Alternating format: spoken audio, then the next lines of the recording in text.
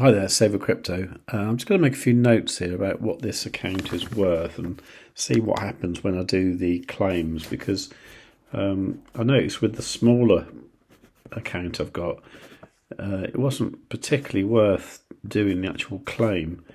Uh, but I think it might be different with this one. Right, so the total worth is 24,262. Um, the amount of tokens I've got in the DEX assets is 61 70. I'm just writing this stuff down. And the amount of lock tokens I've got here is uh, 9,000, 9,778, 61. Okay.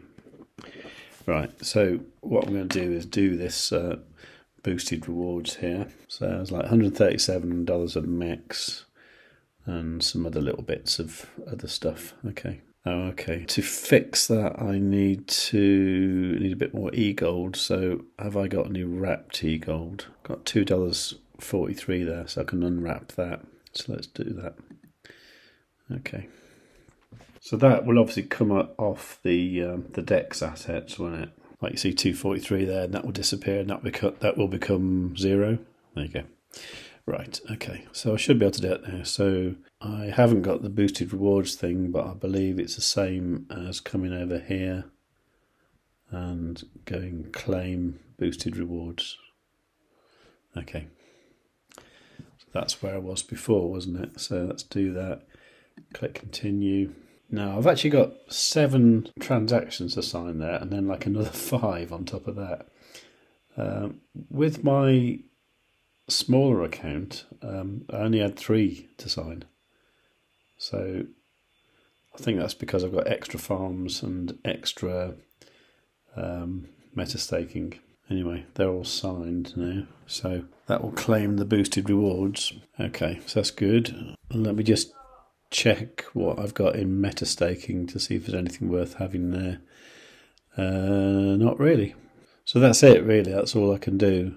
I'm not going to add energy to any of the old XMEX because I, because I want it to unlock naturally from 2026 onwards. Okay, so let's make a note of these. So uh, before I had 24262, and now I've got 24408. That's good. It's like 200 bucks up, isn't it, in a week?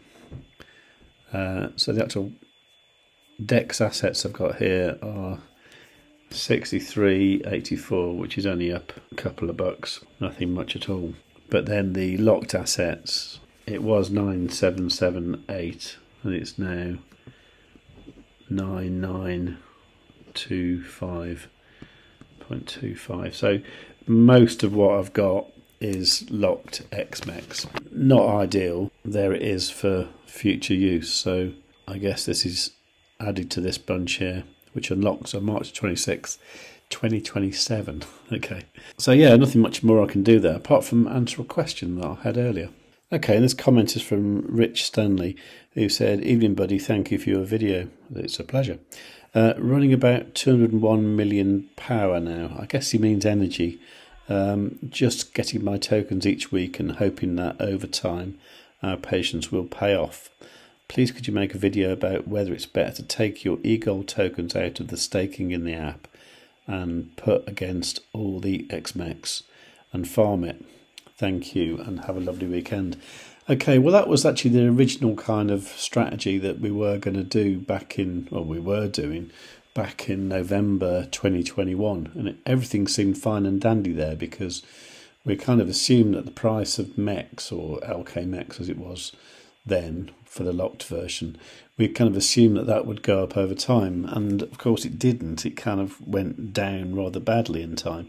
Now, the question is, is what you're saying is, is should you make liquidity with eGold and the XMEX you've got, and then put it back into the farm? Um, okay, well, I can't give financial advice, obviously, but uh, let me give you my thoughts about what I would do if it was me.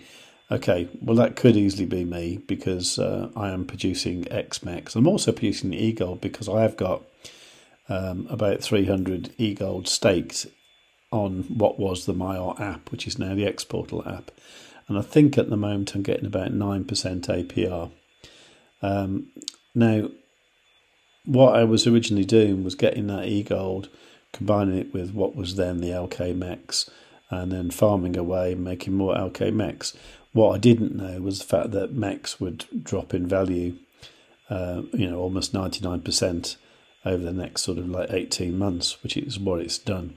If you created liquidity now with e gold and XMEX, it, it might not work out bad, you know, because I think that XMEX may well go down until about March or April next year, which is basically when the original LK Mex will stop unlocking. So people will stop selling it every month, I think. Um, so there's that, but the actual rate of unlocking is now starting to decrease now. So to me, the price of MEX should be near a bottom. I also think the price of e-gold is near a bottom as well.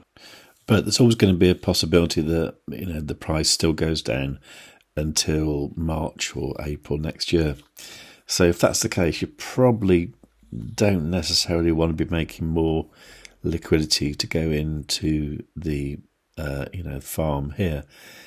Um, I mean, obviously it's your decision, but uh, I've only got stuff here because I've kind of got trapped in there uh, because you know I went into this quite heavy in 2021 and it was all looking great and now it's not so i'm probably looking at you know ways to get out with minimal loss in like two three even four years time.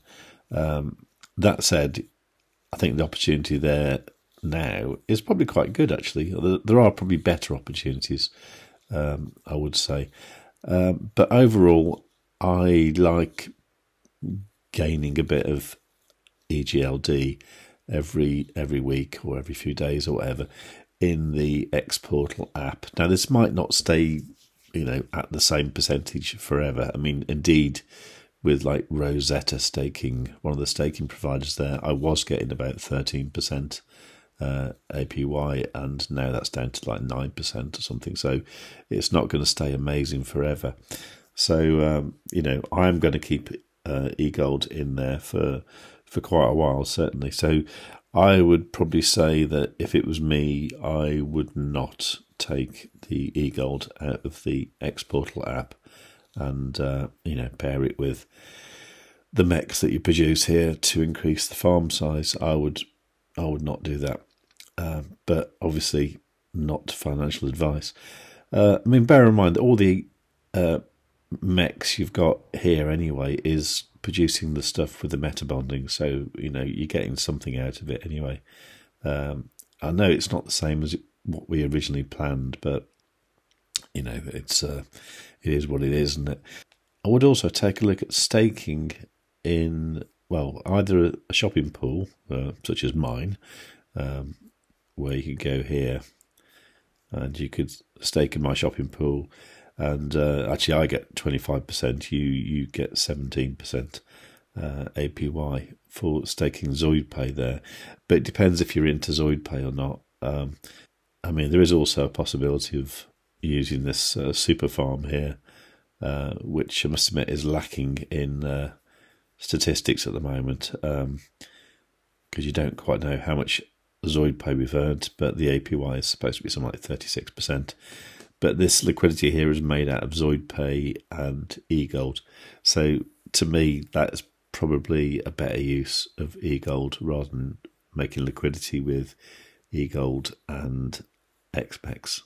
So I think it's handy to have eGold being produced by staking. So I would leave it there, to be honest.